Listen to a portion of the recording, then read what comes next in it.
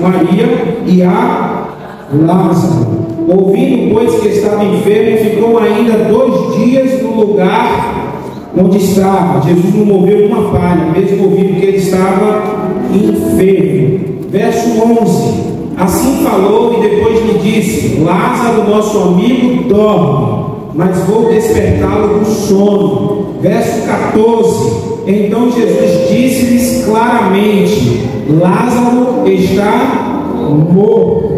Verso de número 17. Chegando, pois, Jesus achou que achou que já havia quatro dias que estava na sepultura. É, verso de número 19. Muitos judeus tinham ido consolar Marta e a Maria acerca de seu irmão. Verso de número 23, disse-lhe Jesus: Teu irmão há de ressuscitar. Verso de número 25, Eu sou a ressurreição, quem crê em mim, ainda que esteja morto. Verso de número 34, disse Jesus: Onde puseste? Disseram: Senhor, vem. E Jesus chorou. E disseram, pois, aos outros: Vede como o amava. Verso de número de 38. Jesus, pois, movendo-se outra vez, muito em si mesmo, veio ao sepulcro e era uma caverna, e tinha uma pedra posta sobre ela. Disse-lhe Jesus: Tirai.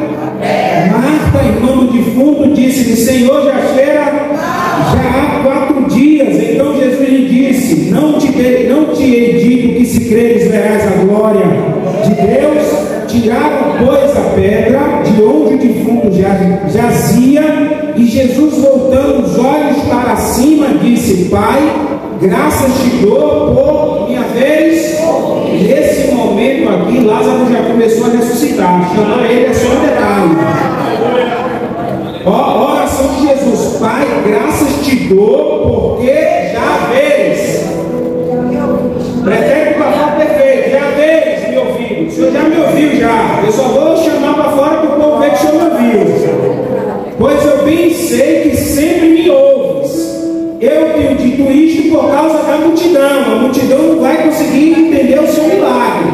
Para que creia que tu me enviaste. Aí depois ele ora assim, já sabe que Lázaro está de pé. Então ele diz: Lázaro, vem.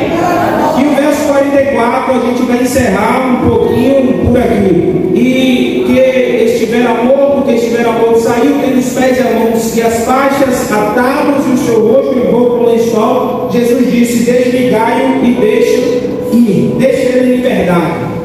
Meus irmãos, eu peguei duas narrativas paralelas da mesma casa. E eu quero falar isso hoje para você, porque as tempestades chegam na nossa casa. Por que a gente enfrenta? Não sei se você já orou já perguntou ao Senhor, por que eu enfrento tanta tempestade na minha casa? Porque parece que Deus não está agindo no nosso lar. Por que Deus não está agindo na vida do marido, na vida da mulher, na vida dos filhos? O que é que está faltando para Deus agir de uma forma especial e diferenciada na casa? E aqui eu quero lhe alertar algo que é muito sério.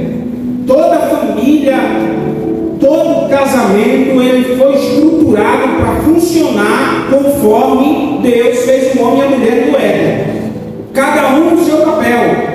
Mulher no seu papel de casa, o homem no seu papel de casa, e su, por sequência, por sucessão, os filhos, compreendendo, você vê que o Senhor vai reorganizar isso através do apóstolo Paulo. A mulher que está submissa, submissão, debaixo da mesma missão. Tá? Essa é a origem da palavra submissão. É você estar debaixo da mesma missão. Se para a mulher é doloroso submissa, para o homem o problema é pior, porque você amar a sua mulher como Cristo amou a igreja. E a igreja é boa, né? Perfeitinha, ninguém erra.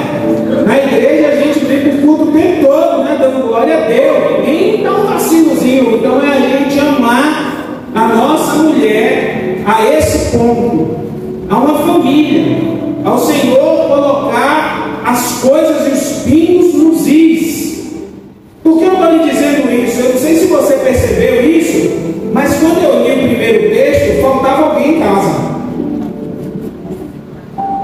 Você viu que no primeiro texto que eu li de Lucas, quando Jesus vai na casa de Lázaro, que é o chefe da casa, que é o irmão, que é o homem, a cultura da época, todo mundo atende Jesus e Lázaro está ausente, Lázaro não é citado no texto havia alguma coisa dentro dessa casa que não era a presença de Deus, porque a casa estava uma bagunça.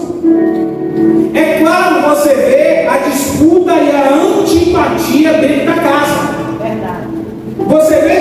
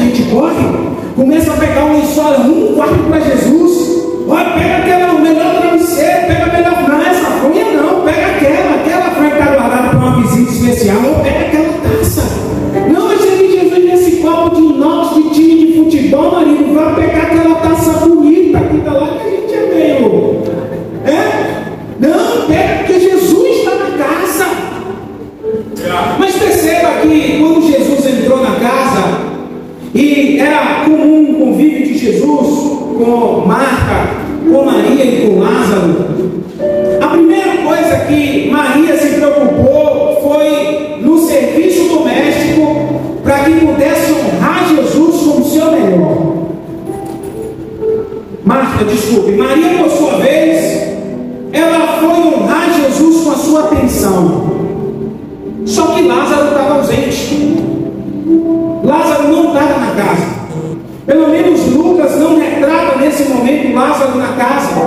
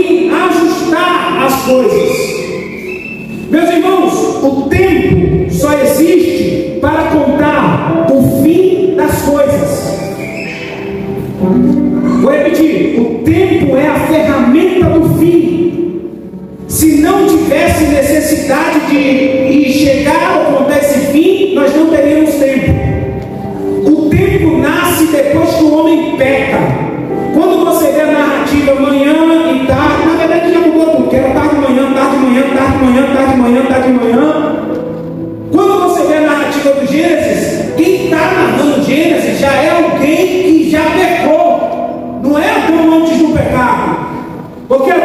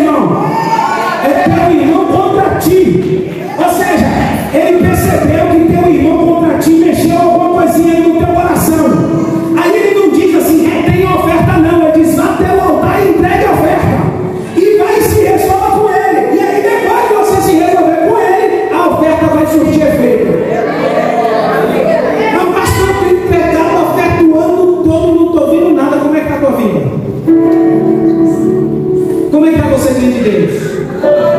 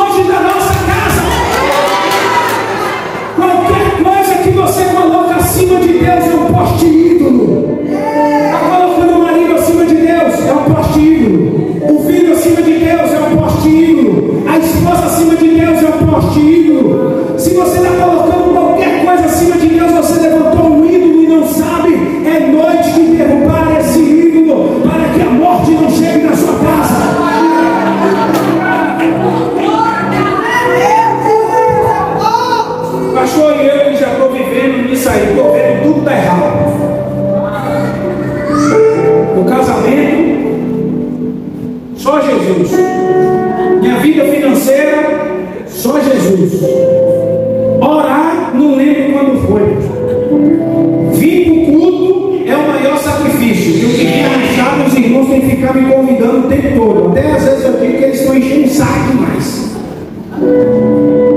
O que é que está acontecendo comigo? Jesus precisa reposicionar sua casa.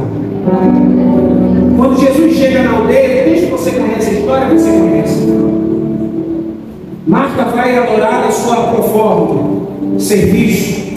Maria vai se jogar nos pés de Jesus. Mas Jesus escreveu de fogo. Jesus quer que a nós onde de terror de fundo. Mas já está fedendo. Desenterro de fundo.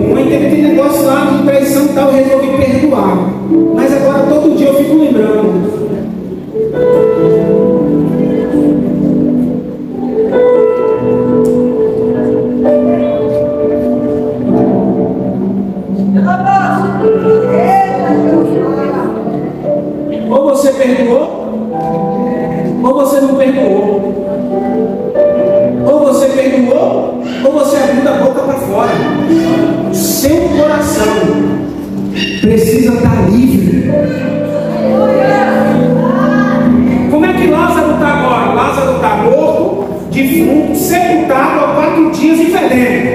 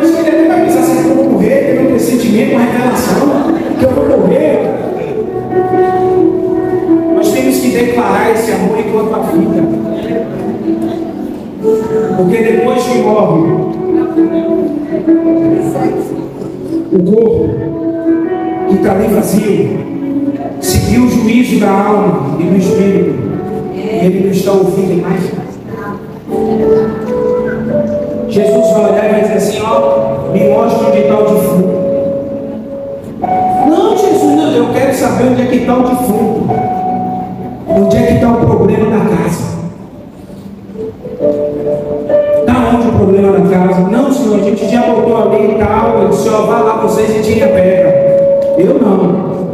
Eu ressuscito defunto, mas resolver problema entre família é com vocês. Sentar e conversar é com vocês, dialogar é com vocês. Eu até entro no meio para fazer a mediação, para ressuscitar o que está morto. Sabe o que eu ouço de uma geração?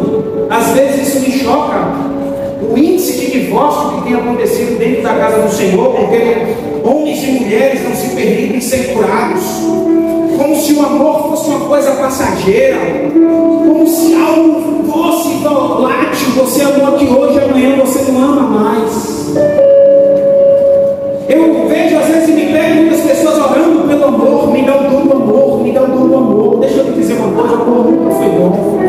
Paulo, quando escreve sobre a ele descreve nove dons espirituais e termina dizendo assim: ó, vou lhe ensinar um caminho mais excelente. Você já percebeu que os dons espirituais não têm a ver com a gente? A única coisa que tem a ver com a gente é o fruto do Espírito, é para nós mansidão, para me manter seguro, benevolência, me manter fazendo bem, paciência, longanimidade, isso tudo trabalha em nós. Agora os dons são sempre para os outros. Eu oro para curar os outros. Eu oro tendo fé sobre a vida dos outros. Eu interpreto a língua de outro. Tem tudo a ver sempre com o outro. Perceba que os dons é a manifestação do amor da igreja. Porque muitas igrejas deixaram de ter o batismo do Espírito Santo, e porque deixaram essa influência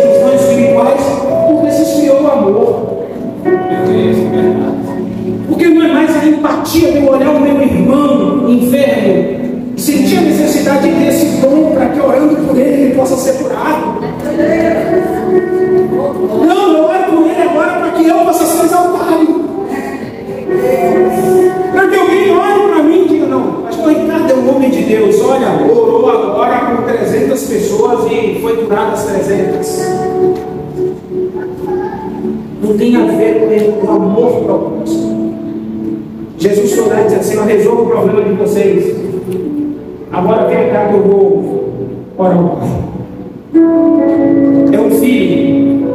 Ensinando como ter intimidade com o Pai. E você vai perceber que de todas as orações, de todas que Jesus fez, essa oração tão simples de um pai que sabe pedir um filho, ou de um filho que sabe pedir um pai.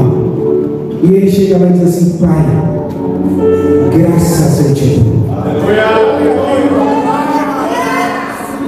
Porque o Senhor já me ouviu.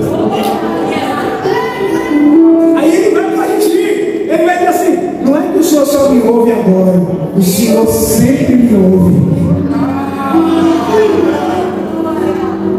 Pergunta para o irmão aí que agora, só para cutucar aí, pergunta, a oração que você está fazendo, o Pai sempre está ouvindo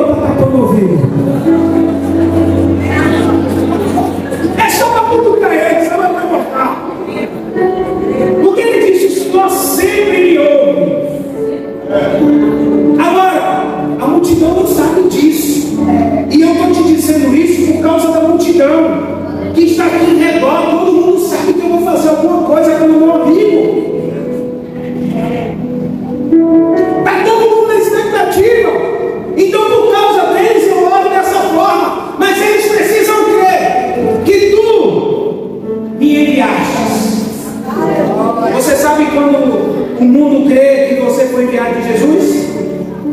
Quando nós formos um. Foi ele que orou na frente. E não quis esquecer desse Pai quando nós formos um, assim como eu e o Senhor é um, e nós nos tornarmos um, aí o mundo vai crer que tem uns enviastes. Se vocês forem a igreja mais unida desse bairro, ninguém vai querer ir em outro lugar. Vai querer ir no lugar onde tem comunhão.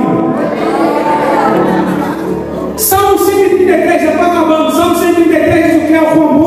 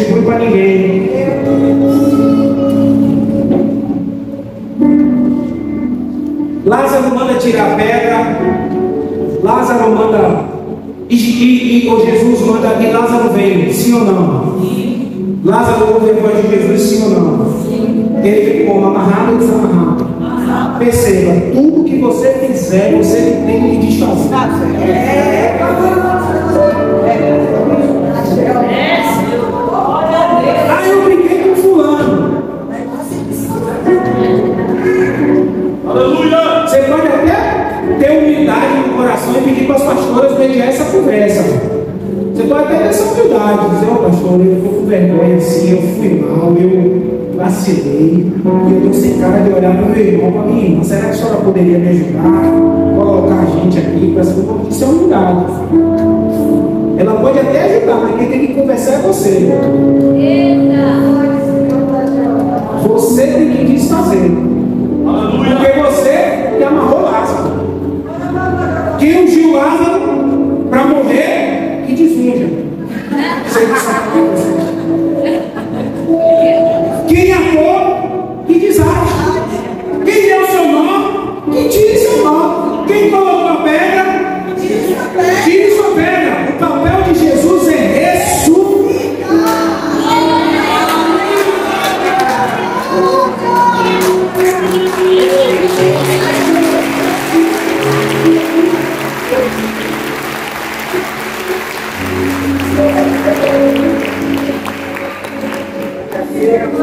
dizer uma coisa, eu.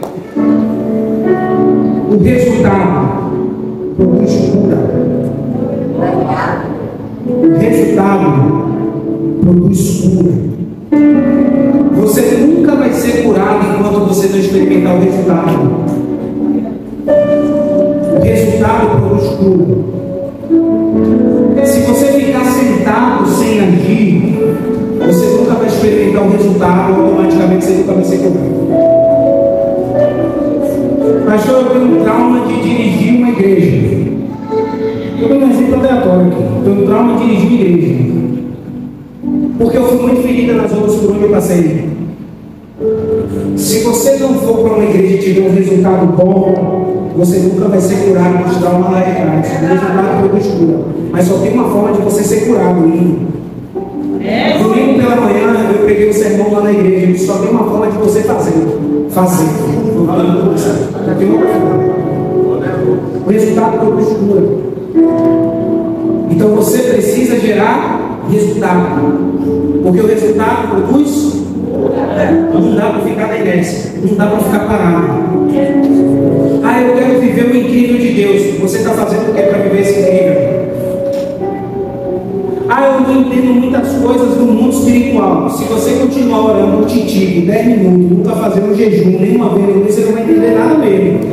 Isso não vai impedir que você mas você não vai entender nada. Você vai ficar sua vida toda sem entender. E aí é uma opção sua ficar uma vida sem entender. Eu vou respeitar bastante sua opção. Ah, eu quero um resultado na minha vida lá em casa com os meus filhos, meus filhos adolescentes, não larga o celular. Não vai largar nunca quando você der o celular para eles. Você tem que confiscar o celular. Olha já balançou dele aqui dizendo: Se fosse meu filho agora, a primeira coisa que eu ia tirar em casa era o celular. Olha, correu logo dele. Quer dizer, se fosse não, a minha filha está sem celular já há quanto tempo? A gente tem com ela, né? De confiscou. Confiscou celular. Tem maturidade para ter celular? Não tem celular. Escondido. Talvez alguns adolescentes vão sair daqui dizendo não vou nunca mais comer para chuva Mas seu pai vai no sua mãe.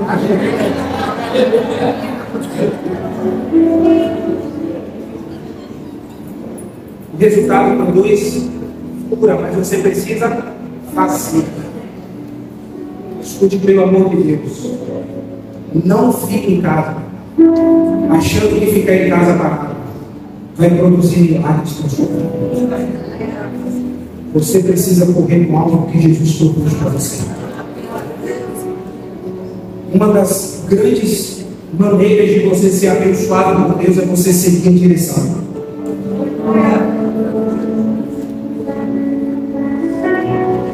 A voz. Ouça a voz.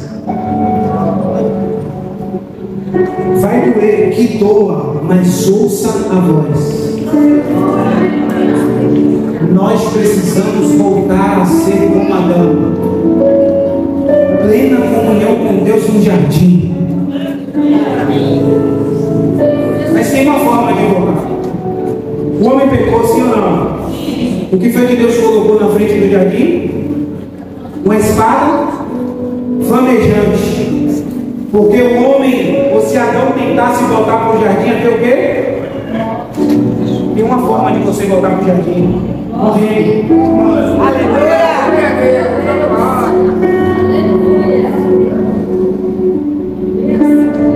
Se você morrer, você está no jardim. Que Jesus fala muito de morte. Ele está atrelando a gente, dizendo, gente, vocês têm uma comunhão que vocês estão perdendo. Andar nas asas do Espírito é gostoso, irmãos, porque todo o nosso ego é quebrado. Enquanto você não quebrar o seu ego, você não vai desfrutar da plenitude do que Deus tem para você.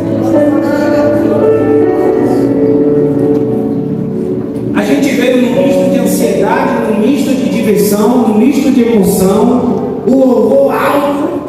Sabe qual foi o louvor que ele tocou quase chegando? Deixa eu ver se ele é. Deus vai fazer.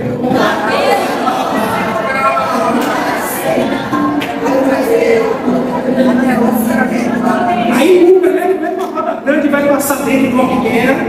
Deus vai fazer. Deus vai restaurar a sua vida. Agora, você precisa ter atitude de convidar Jesus para entrar na sua Betânia que está o caos. E ele não vai fazer porque eu estou dizendo, não. Capítulo 12 de João, verso 1. Dá para vocês porem na projeção, por favor? Eu quero que a igreja acompanhe comigo, eu vou orar para que isso aconteça na sua casa. Eu disse primeiro que Lázaro estava ausente. Depois eu disse a vocês que Lázaro estava todo mundo presente, mas Lázaro era defunto, era morto. o que acontece no capítulo 12 de João, verso 1.